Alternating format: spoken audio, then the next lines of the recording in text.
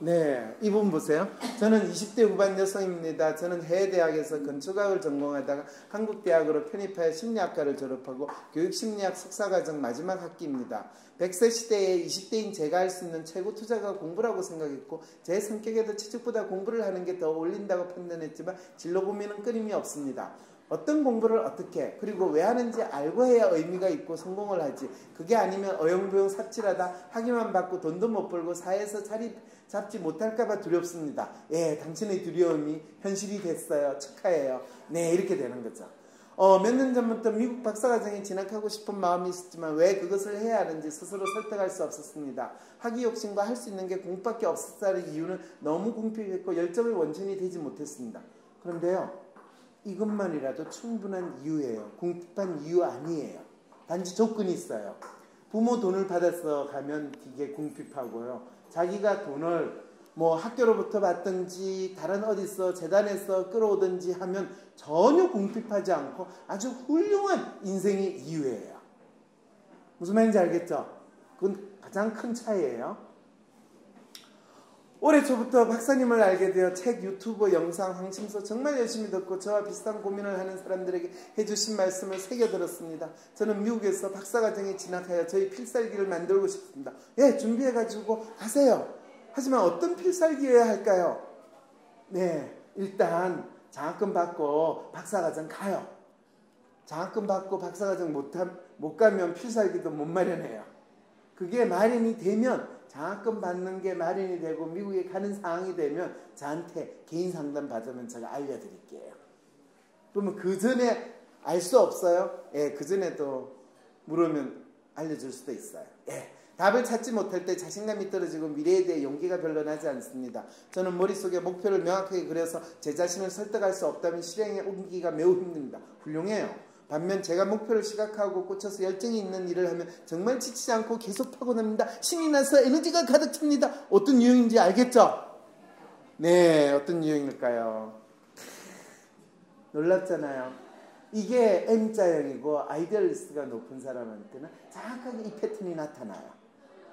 그래서 자기 스스로 먼저 그림을 그릴 수 있고 아 난 이걸 해야 돼 라고 생각하면 정확하게 그거에 대해서 미친 듯이 할 수 있어요. 그리고 본인이 상상하는 걸 시간이 조금 차이는 있을지 몰라도 돼요. 자, 그러나 대학원에 다니는 동안 내키지 않는 일을 하고 싶지 않는 일을 많이 해서 내적 동기가 많이 손상되고 무기력해졌습니다. 누가 하래? 네, 저도 한국에서 대학원을 다니려고 생각을 했을 때 가장 먼저 내가 원하지 않는 것을 하게 되고 내가 원하지 않는 상황에 처하게 되는 걸 두려워서 그래서 대학원을 갈 때 내가 저 선생님한테 공부를 하면 저 선생님은 내한테 내가 원하지 않는 걸 시키지 않을 거고 내가 원하는 것을 저 선생님한테 해도 아무 문제가 없겠다고 생각하는 지도교수를 그렇게 선정을 했어요. 그래서 어느 정도 그게 맞았어요. 미국에 갈 때도 마찬가지예요. 내가 장학금을 구해가면 누구한테 구속을 받지 않고 내가 하고 싶은 걸 할 수 있기 때문에 장학금을 구하는 건 무엇보다 중요한 일이에요. 부모님한테도 아닌 그래야지 내가 적어도 장학금 받으니까 내가 그 시간 내가 마음대로 즐길 수 있으면 되지 라고 생각하는 마음으로 공부를 하는 거나 무슨 일을 지금 생각하면 내가 바보였어요. 도서관에서 공부를 하지 말고 미국 전역을 다니면서 여행을 했으면 지금의 나의 삶이 훨씬 더 풍요롭고 나아지지 않았을까 라는 그런 아쉬움도 있어요. 저희 논문 주제는 열정과 자기 일치 목표가 목표 성취에 미치는 영향입니다. 이 말은 무슨 말인지 알겠죠? 본인이 그 저 주제로 논문을 썼지만 자기에게는 전혀 적용시키지 못하고 자기 문제가 뭔지조차 알지 못하는 하나만한 연구를 했다는 거예요. 그래서 저는 내재적 동기의 강력함을 안 돼요. 그거는 연구 안 해도 알고 있거든요. 네. 안타깝게도. 문제는 저희 내재적 동기를 마음대로 부려 쓸 수 있다면 정말 좋겠어요. 제가 어떻게 하면 포텐을 터뜨릴 수 있을까요? 아니, 논문은 이 질문에 대한 답변을 하라고 논문 논문을 하는 거지 내재적 동기가 강력하다라는 이야기를 하기 위해서 논문을 써요? 본인이 대학원 공부를 얼마나 쓸데없는 건 누구나 알고 있는 뻔한 거를 알기 위해서 또는 알았다고 논문을 썼다는 걸 스스로 고백하고 있는 거예요. 제가 지도 교수였으면 어떻게 각 개인이 가지고 있는 내재적 동기 수준에 따라서 개인의 문제를 해결하는 데 차이가 있는가 그거를 너 논문 주제로 삼아가지고 그걸 나름대로 파악을 해봐라라고 아마 이야기를 했겠죠. 똑같은 연구를 하더라도 실제 문제를 가지고 연구를 하느냐, 겉으로 뻔한 이야기를 면제인 것처럼 만들어 가지고 연구를 하느냐 이렇게 차이가 있어요. 어디가 옳은 방향일까요? 미래에 대한 불안감이 쉽지가. 여기서 어디가 옳은 방향이라니 내재적 종기를 자기가 마음대로 써가지고 자기의 포텐셜을 극대화하는 것이 옳은 방향이지 당연한 거 아니에요? 이거는 문재인을 뽑을까요? 홍준표를 뽑을까요? 어느 게 옳은 방향이 이 질문하고 똑같은 거 아니에요? 예. 어, 미래에 대한 불안감이 쉽게 가시지 않습니다. 미래에 대한 불안감은요, 죽을 때까지 안 가셔요. 특히 M자형은요, 미래에 대한 불안감을 걱정하면 아무것도 못해요. 그럼 미래에 대한 불안감을 없애야 됩니까? 왜 없애? 미래에 대한 불안감이 너에게 또 다른 동기로 작동하는 거야. 여러분하고 내가 이렇게 집단 상담이 아닌 것 같은 집단 상담을 하면서 개인 상담을 하는가? 그거는 제가 현재 내가 얼마나 잘하고 있고 얼마나 내 일을 하고 있는가에 대한 그거를 확인하기 위해서 하는 부분도 있어요. 그렇지만은 그거는 그거를 내가 확인할 수 있을 때 미래에 대한 불안감 없어질까요? 뭔 소리예요? 미래에 대한 불안감은 내가 살아있는 한 없어지지 않아요. 미래에 대한 불안감이 없어지는 것처럼 두려워요. 그- 그.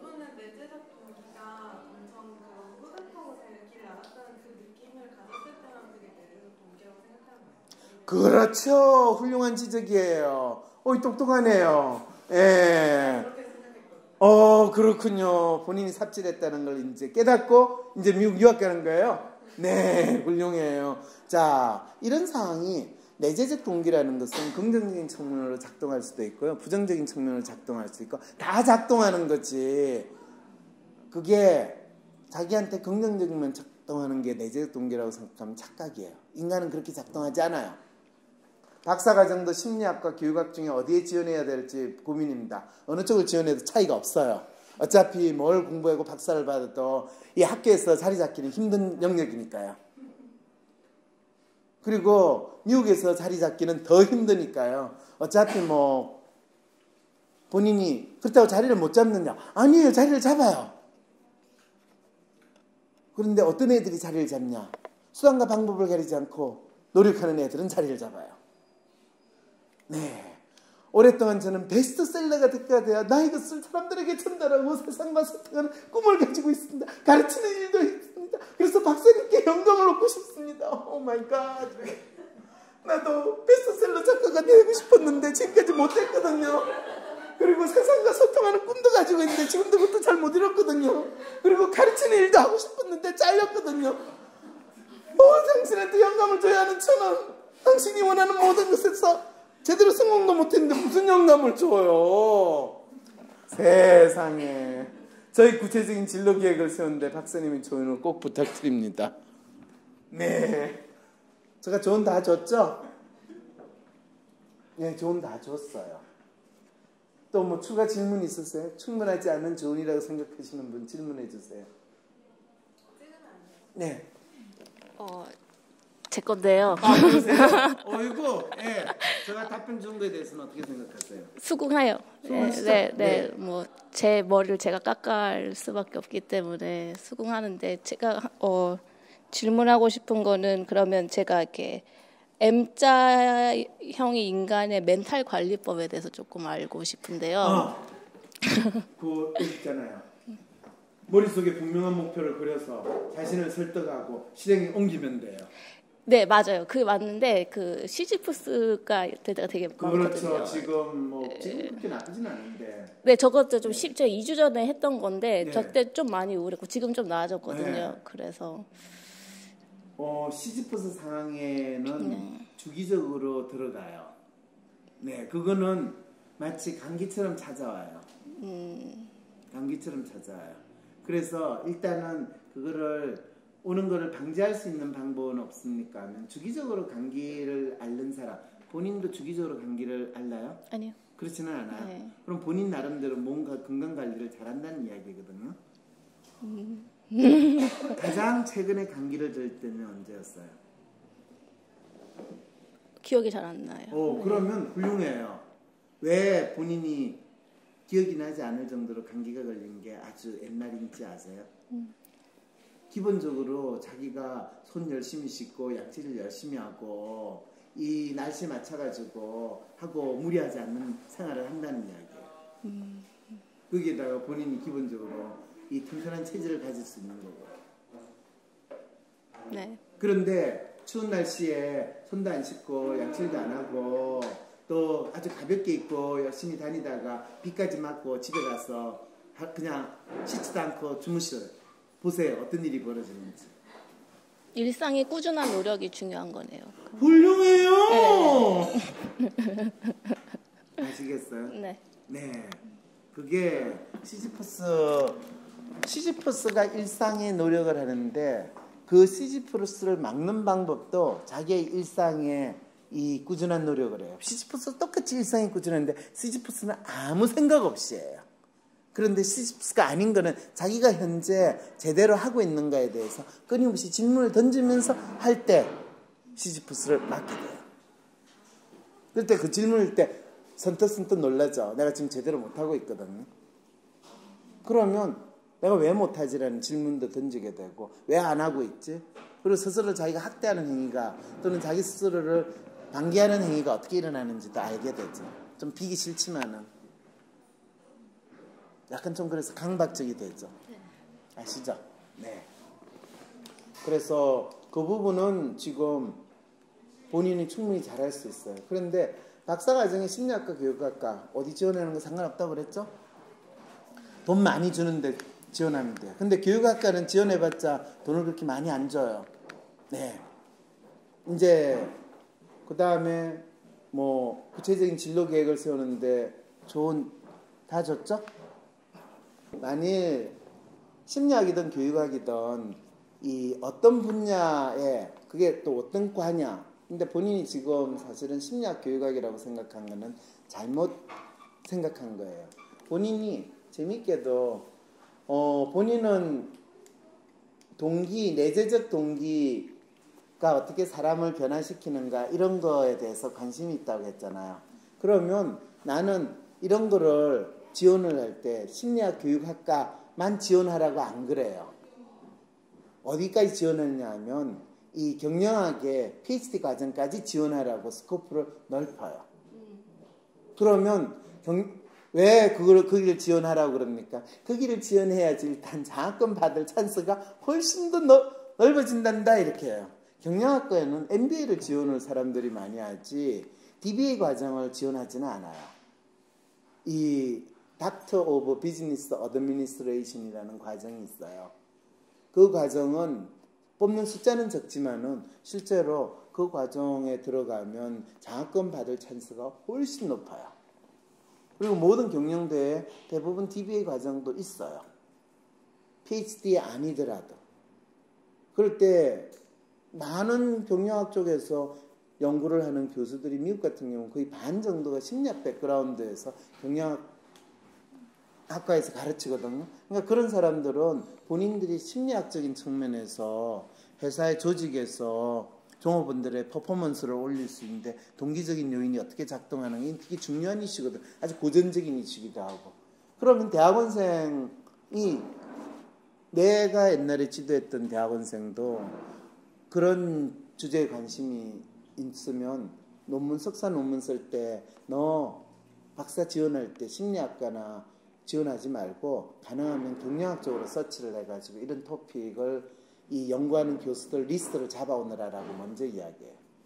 그리고 어, 유학 가기 위해서는 적어도 1년 전에 그 리스트 잡아오면 그 교수한테 지금 네가 하고 있는 연구에 대해서 조금 설명을 하고 그 교수한테 편지를 다 쓰라고 그래요. 그것도 1년 전에. 1년 전에 쓰면요. 내년에 당신이 대학원생을 받을 계획이 있느냐 라는 걸 사전에 확인을 해요. 그러면 어 계획이 있다. 한번 지원해봐라. 그러면 다시 그 교수한테 나는 이러는데 관심이 있고 당신의 연구가 이러 이런데 하는데 내 연구하고 이런 식으로 관심이 있는데 뭐 지원해 줄 수 있겠냐. 이렇게 하면 apply 하기 전에 그 사람이 대학원생을 뽑을 생각이 있는지 그리고 그 사람은 어떤 주제에 대해서 현재 관심이 있는지 그리고 대학원생을 뽑고는 싶은데 돈이 있는지 없는지 그까지 사전 확인을 다 할 수 있다는 거예요. 대부분 학생들은 그걸 사전 해- 확인해야 된다는 걸 몰라요. 왜 모를까요? 글쎄요, 그렇게 하고 싶지 않아서 모르겠어요.